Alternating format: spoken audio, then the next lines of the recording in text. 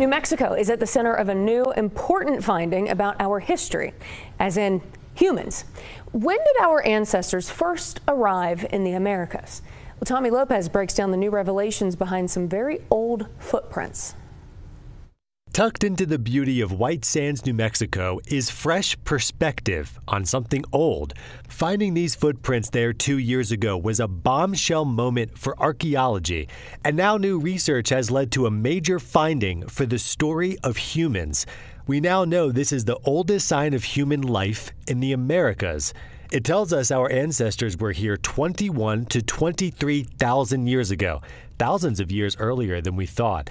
Tom Stafford is helping us understand all this. Oh my God! Now we've got people at 21 to 23,000. That you know, almost let's say 10,000 years before what has been accepted. He's a longtime geologist. He's worked all over the world, and he now lives in New Mexico.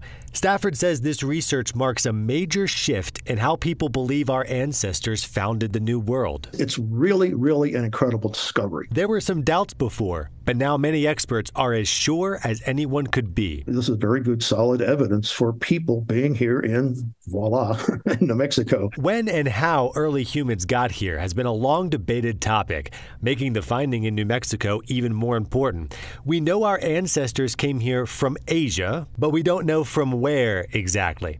All right, we have a clearer picture of the timeline, but why should we care? Have you or someone you know done one of those ancestry tests? This revelation helps us understand all of our origins. That to me is why this is so exciting because it's just like 23andMe at, at White Sands is you're going further and further and back and Tommy joins us. So there are a lot of footprints there, Tommy. Where did the researchers find them exactly? So in White Sands National Park, mm -hmm. near the edge of an ancient lake. And we'll have the link to all that new research on our website, kob.com. All right, fascinating stuff. Tommy, thanks.